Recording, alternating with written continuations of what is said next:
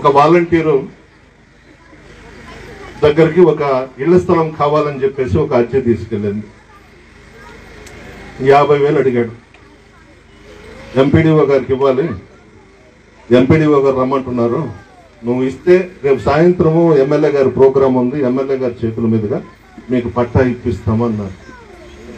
ఆమె చాలా తెలివిగలది. నేరుగా ఎంపీడీఓ గారి దగ్గరికి వెళ్ళింది. ఆయన చాలా మంచి వ్యక్తి.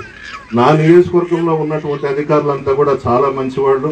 జగన్మోహన్ రెడ్డి గారికి మంచి పేరు తేవాలని ఎమ్మెల్యే గారికి మంచి పేరు తేవాలని కృషి చేసేవాళ్ళే తప్ప ఎక్కడా కూడా డబ్బులు ఆశించే వాళ్ళు ఎవరు లేరు నా ఐదు మండలాల్లో. అది నా అదృష్టం మా నాయకుల అదృష్టం మా కార్యకర్తల అదృష్టం. నేరుగా ఎంపీడీఓ దగ్గరకు పోయి ఏంది సార్ మీరేమో యాభై వేలు దమ్మన్నారంట వాలంటీర్ వచ్చాడు. జగన్మోహన్ రెడ్డి గారు ఏమో మేము ఉచితంగా ఇస్తున్నాం మీరు ఒక్క రూపాయి కూడా ఖర్చు పెట్టద్దు. నాకు చెప్పాడు బాబా నాకు చెప్పాడు మరుసటి రోజు సాయంత్రం ప్రోగ్రాం పడుగుపాడులో తీసేసాం మరుక్షణమే ఉండేదానికి లేదో తీసేయమని చెప్పినాను. ఆమెకు పట్టా ఇచ్చాం ఉచితంగా ఇచ్చాం. అదే మీకు అందరికి కూడా మనవి చేస్తా ఉన్నా. మీ గ్రామాల్లో ఎవరైనా మిమ్మల్ని డబ్బులు అడిగితే అధికారుల దృష్టికి మా దృష్టికి తీసుకురండి.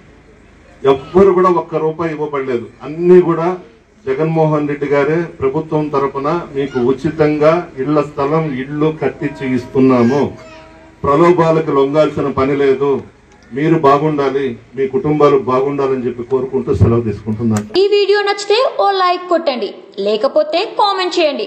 బట్ సబ్స్క్రైబ్ చేయడం మాత్రం మర్చిపోకండి.